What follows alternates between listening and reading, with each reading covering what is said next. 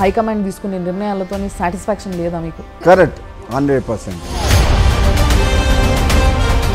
కానీ ఆ నిర్ణయం నన్ను కొంచెం బాధ అనిపించింది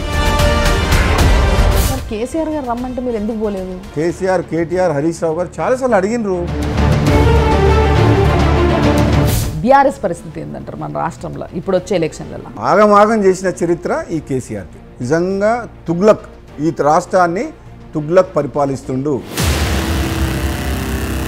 ఈ రాష్ట్రంకి మరి కేసీఆర్ గారు కానీ అంటే ఆయన పార్టీ తరఫున ఏం చేయలేదంటారా మీరు? కేసీఆర్ మాయగాడు. ఎవరినైనా మేనేజ్ చేయగలుగుతారు. అందితే కాళ్ళు లేకపోతే జుట్టు. లిక్కర్ స్కామ్లా కవితక్క పేరు చార్ట్ షీట్లో ఉన్నప్పటికీ ఆమెను అరెస్ట్ చేయకపోవడము.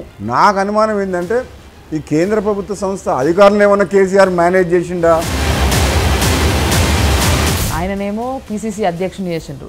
ఆయన మీద ఇప్పటికీ కూడా కొంతమంది టీడీపీ బ్రాండ్ ఉంది అనేసి అంటా ఉంటారు. రేవంత్ రెడ్డి ఆయన గత చరిత్ర చూస్తే మీ అందరికి తెలుసు. ఆయనకు ఒక బ్లాక్ మెయిలర్ అనే పేరు ఉంది కాంగ్రెస్ కూడా బీఆర్ఎస్కి గట్టి పోటీయా ఓడిపించగలుగుతుంది అంటారా ఏ అదంతా సోది మనకెందుకు కానీ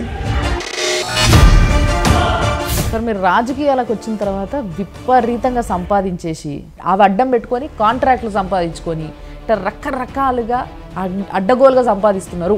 మరి కేటీఆర్ గారిని నాకు ఓపెన్ డిబేట్ పెట్టుకున్నాం ఇద్దరం. ఉద్యమం పేరు మీద ఆస్తులు సంపాదించుకున్న చరిత్ర వీళ్ళది. అంటే కాంగ్రెస్ లీడర్స్ దగ్గరకు వచ్చి అడక తిన్నారంటున్నారా మీరు?